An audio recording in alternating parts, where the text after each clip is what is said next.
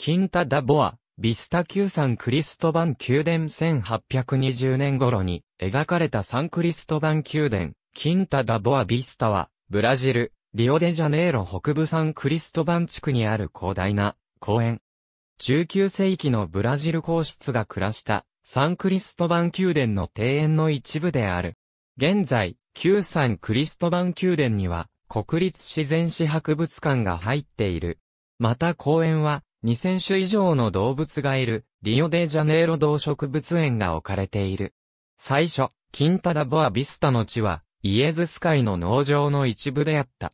1759年以降、ブラジル植民地からイエズス海が追放されると、土地は分割されて、複数の地主に切り売りされた。19世紀初頭に、農場の一部を、裕福な、ポルトガル人商人エリアス・ロペシュが購入した。彼は1803年頃、農場の丘の上にマナーハウスを建てた。この丘から、グアナバラ湾の素晴らしい眺めが見られることから、キンタダボアビスタの名がついた。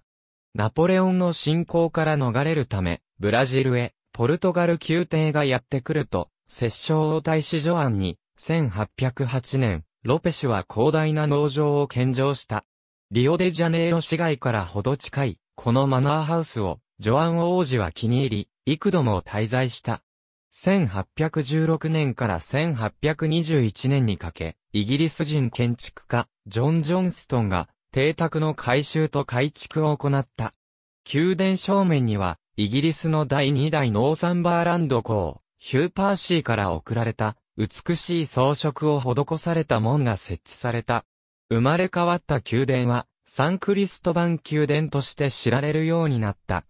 1817年に、ペドロ王子と王女、マリア・レオポルディナが結婚後、夫妻はサンクリストバオン宮殿で暮らした。夫妻の子供たち、マリア・ダ・グロリア、フランシスカ、ペドロ・デ・アルカンタララがこの宮殿で生まれ、1826年には、ここで、皇后、マリア・レオポルディナが死去した。1822年のブラジル帝国樹立後、ペドロ一世は宮殿及び、公園の再設計と拡張を続けた。メインファサード左の塔、宮殿の3階を付け足したのは、フランス人建築家、ピエール・ペーゼラであった。イタリア人画家、マリオ・ブラガルディが宮殿内各部屋の内装を担当した。王座の間や大使の間のトロンプルイユは彼の手による。サンクリストバオン宮殿で育ったペドロ2世は1869年に庭園の再設計を命じた。フランス人造園家オギュスト・グラジオーがこの計画に着手し人工湖、橋、洞窟、古代神殿の模型といった当時のロマン主義流行にのっとった造形を作った。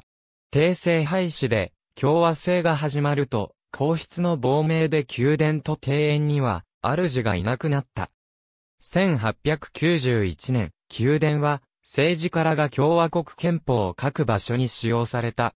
1892年、リオデジャネイロ自然史博物館理事長が市内のカンポデサンタナにある博物館をサンクリストバン宮殿へ移した。宮殿の内装は取り払われたが、一部は王座の間を再編して設置しているペトロポリス大聖堂内の皇室霊廟のような別の博物館で見ることができる。ありがとうございます。